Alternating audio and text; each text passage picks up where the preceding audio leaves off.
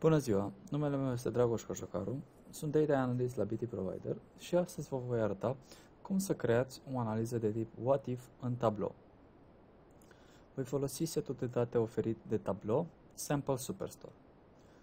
Pentru a crea această analiză, va trebui să începem prin crearea unui parametru. Vom spune parametrul acesta, îi vom da denumirea de parametru de creștere să spunem uh, growth percent parameter, va trebui să-i schimbăm formatul din automatic în procentaj, pentru că el este de tip procent și va trebui să-i schimbăm range-ul. Vom da un range minim, maxim și un step, un range minim de minus 1, un maxim de 1 și un step de 0.01. Sunt ok. Și acum mai să mai creăm încă un parametru parametru pentru churn rate, deoarece vom analiza uh, cifrele de afaceri sau vânzările. Vom schimba formatul în, par, în procentaj, range-ul vom pune 0, 1 și 0.01 Sunt ok. Bun. Mai departe trebuie să creăm un câmp calculat ca să profităm de acești doi parametri pe care am calculat.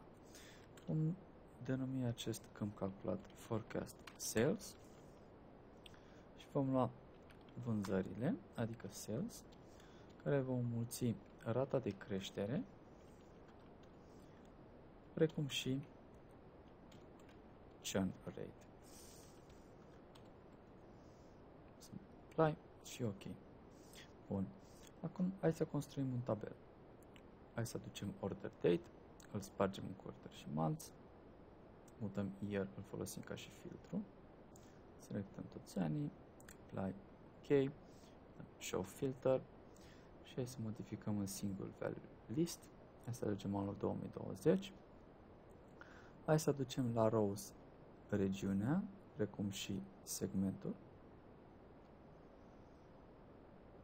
și hai să aducem pe text sales și forecast sales.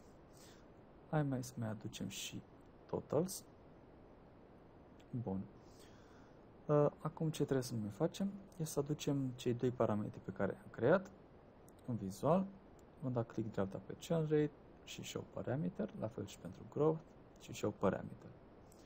Acum veți vedea că dacă modificăm churn rate-ul precum și growth-ul, se vor modifica cifrele forecastate. Și așa se face, foarte simplu, o analiză de tip what if în baza datelor pe care le aveți. De asemenea, putem aplica această analiză și pentru anumite segmente din setul nostru de date. Spre exemplu, dacă dorim să facem o analiză numai pentru uh, porto- regiunea de East și regiunea de Sud a portofoliului, East and South. Ce trebuie să facem aici? Trebuie să creăm doi parametri, atât pentru East cât și pentru South. Vom copia parametrul pe care l-am creat mai devreme. Cu click dreapta, duplicate. Vom da edit și vom schimba numele în growth percentage south. Apăsăm OK.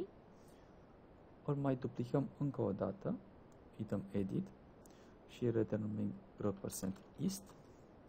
Apăsăm OK. După care trebuie să calculăm, să creăm două câmpuri calculate pentru acești doi uh, parametri.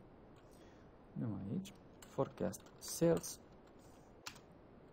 east, unde scriem if region este egal cu east, atunci vreau să-mi calculeze sales înmulțit cu 1 plus growth rate pentru east. Închid paranteza, else să nu-mi aducă nimic, adică 0. Închid cu end. Apăs apply și da OK. Acum voi duplica această măsură, duplicate, vom da edit și vom schimba numele din east în south. La fel și la regiune south și la fel și parametrul. Modificăm din east în south. Să apply și ok. Și de asemenea trebuie să mai facem o măsură care să calculeze uh, vânzările pentru restul regiunilor care nu sunt east sau south. Mai creăm un câmp calculat spunem uh, all data without um, east or south. Facem if region equals east or region equals south, then 0, else sales. Și închidem.